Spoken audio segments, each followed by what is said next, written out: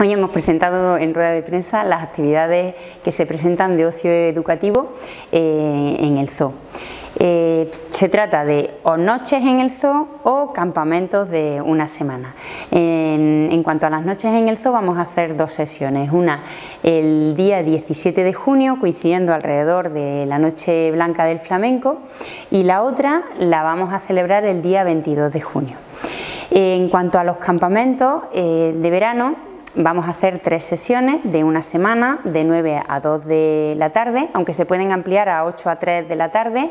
Y mm, eh, la primera va a ser la última semana de junio, la vamos a dedicar a la protección de los primates en sus selvas, a tener en cuenta que mm, hay que proteger las especies y los hábitats naturales de, estos animales en origen para que no se produzca mm, una deforestación, que eso signifique eh, acabar con este tipo de especies. La segunda, a conservar las especies autóctonas, cuidar desde lo más cercano para mm, proteger y conservar el medio ambiente y la tercera a algo que los niños y las niñas van a experimentar mucho más de cerca que son a las granjas y a los productos ecológicos